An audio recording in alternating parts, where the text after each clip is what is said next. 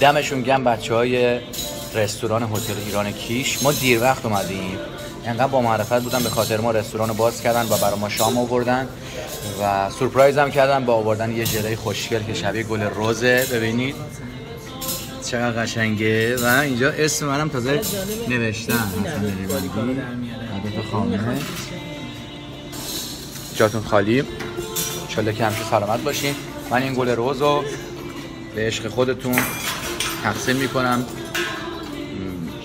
به خاطر گل روی ماهتون و با بچه ها این گل روز رو می‌خوریم و جاتون خالی باشه. عشقتونم